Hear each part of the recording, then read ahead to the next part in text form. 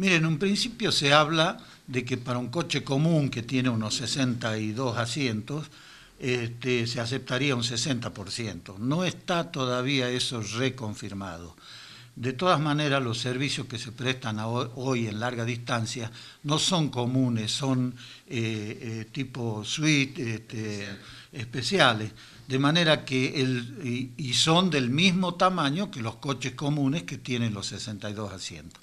Imagínese que un coche suite de lo que prestamos en el servicio desde Jujuy tiene treinta y pico de asientos, eso ya estaría reduciendo la capacidad de gente dentro de la unidad en un 50%.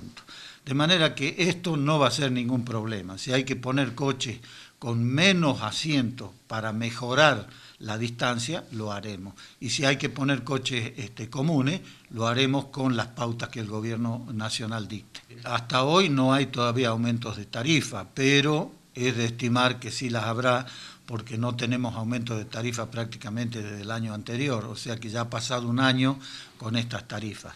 Eh, de todas maneras, este, hay máximos y mínimos, operaremos obviamente en, una línea eh, conveniente para el usuario y para, para la cantidad de gente que queremos llevar, y este, es obvio que para fin de año seguramente va a haber este, incrementos en la tarifa.